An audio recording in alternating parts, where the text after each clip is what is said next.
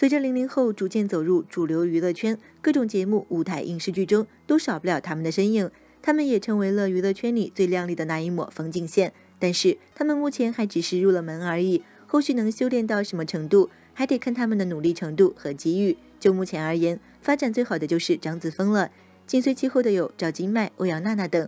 这些女孩算是具有人气又有一定实力的代表人物。相信假以时日，经过不断磨砺的她们。也将站在属于他们自己的高峰。现在我们来看一下他们目前的情况吧。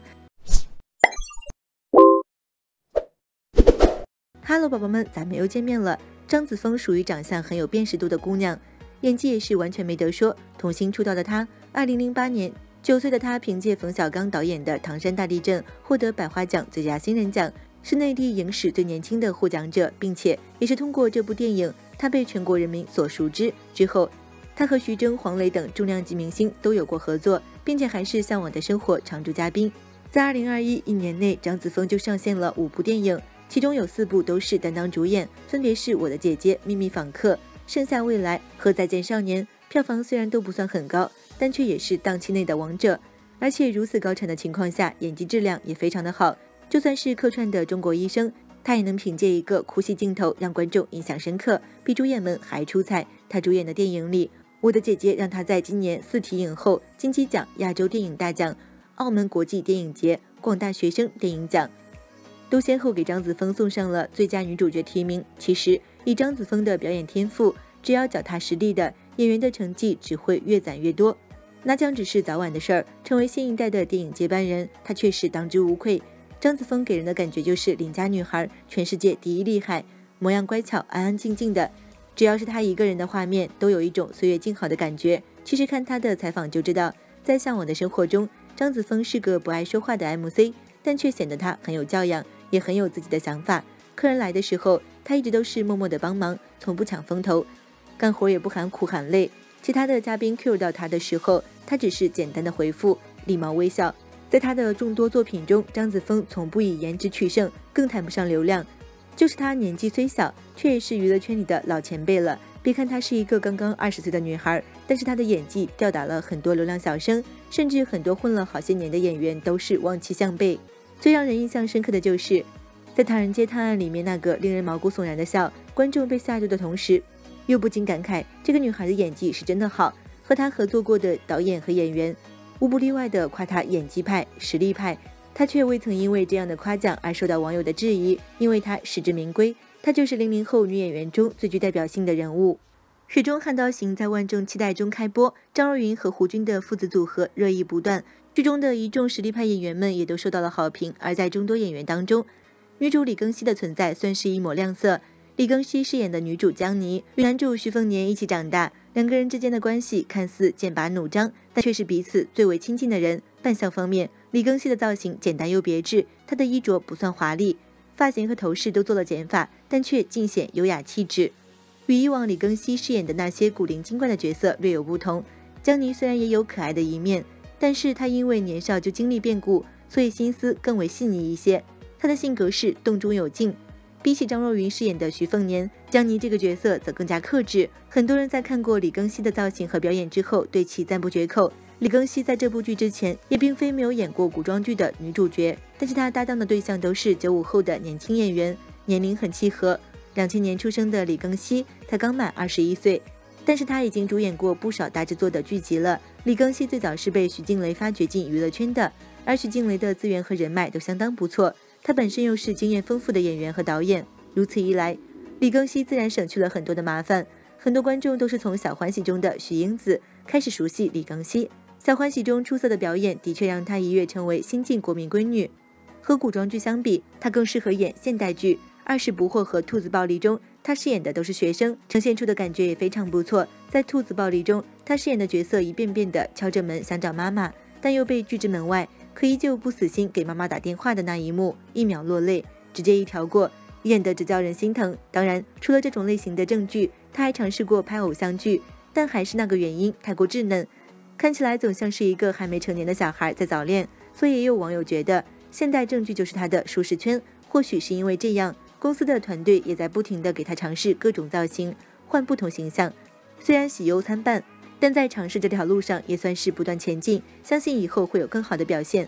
五岁半开始学钢琴，六岁半开始学大提琴，十一岁赢得全台大提琴比赛冠军，并以特优第一名保送进台湾师大附中音乐班。十二岁就在台湾连续举办四场大提琴巡回音乐会，十三岁考取美国的顶尖音乐学校柯蒂斯音乐学院，并获得全额奖学金。零零后出生的欧阳娜娜被称为天才大提琴手，十几岁就有如此成就，除了天赋，还有她背后的努力。作为一位五六岁的小孩，要坚持不断的学习大提琴，除了父母的监督，更多的是孩子的自律。要想在一个领域学精，不经历一些非人的折磨过程，是难以成大气候的。可想而知，成功不是唾手可得的。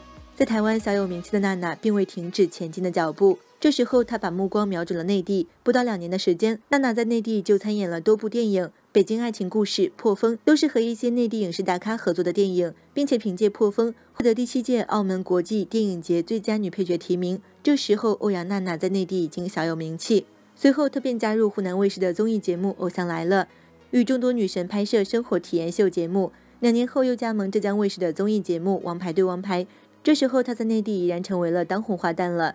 近一两年来，她的 vlog 吸引了不少人的关注，于是就有了“哪个女生不想成为欧阳娜娜”的热词营销。近期她主演的民国奇幻爱情剧《如月》在横店开机，这次要演盲女的角色，对她来说也是一种挑战吧。总之，千禧年出生的欧阳娜娜，如今不过二十一岁，早年成名并没有让她迷失自我，相信未来的她还有很多可以期待的表现。从一十年的赵今麦，如今一点点的成长，一次次的蜕变，已经俨然成为一位让观众刮目相看的小戏骨。和很多小孩一样，赵今麦从小参加了许多才艺班，主持、弹琴、美术，妥妥的小才女一枚。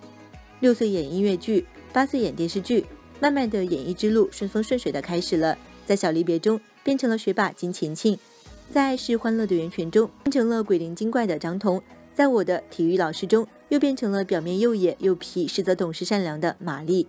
但是大家最喜欢的，想必还是少年派中那个青春不言败、天生少年派的林妙妙。少年派是让很多观众和家长都印象深刻的一部剧，而赵今麦饰演的林妙妙，也反映出高中生成长路上的酸甜苦辣。她和张嘉译老师、闫妮老师演的一家三口，也是无数个中国高考式原生家庭的真实缩影。现今社会中，虎妈妈爸、望子成龙式的教育具有普遍性。此剧上映，一时激起千层浪，引起了社会中很大的反响和共鸣。赵今麦也凭借此片，真正的走入了千家万户。二零二零年的高考中，潜心复习的赵今麦荣登中央戏剧学院表演系榜首，让人们对这个低调的小姑娘再一次刮目相看。在抗疫主题的电视剧《在一起》里，她成功的饰演勇敢的年轻医生容易。在返武汉的路上，那个顶风冒雨蹬着单车逆行的女孩，深深的印在人们的脑海中。在古装玄幻大戏《玲珑》里，她的古装扮相也是惊艳无比。那份独挑大梁的勇气和能力，更得到人们的认可。拍摄《流浪地球》时，她才十四岁，每天都要穿上六十多斤的防护服，行动起来十分不方便。一拍戏就是十几个小时，但她不仅咬牙坚持下来，还挤出时间去备战中考。连一向欺负她的哥哥屈楚萧看了都敬佩不已。《流浪地球》票房大卖四十多亿，一战成名的她不张扬也不炒作。继续谦虚做人，努力演绎，收获的是佳片不断，成绩斐然。他的偶像是名演员胡歌，也许在不久的将来，他能像偶像那样取得很多的傲人成绩，在事业上越战越勇。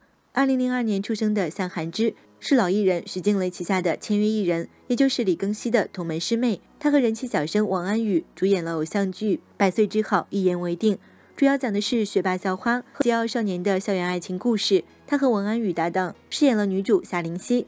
剧中两人的 CP 感十足，是一对让人羡慕的小情侣。其口碑和热度在网剧中来看都还不错。在前段时间热播的电视剧《强当风起时》中，向涵之也有出演。他扮演的谭元虽然戏份不多，但娇气却不霸道，率真又善良的人设却让很多观众喜欢上他。有夸向涵之颜值高的，也有觉得他演技好的。凭借这部剧的出色表现，向涵之还真是实实在在的圈了一波粉。虽然今年才十九岁，但向涵之的演技颇为自然灵气，而且他的长相大气，骨相线条流畅，这也意味着他的戏路会比较宽，之后可以尝试更多不同类型的戏，未来可期。以上就是今天为大家分享的零零后实力小花了。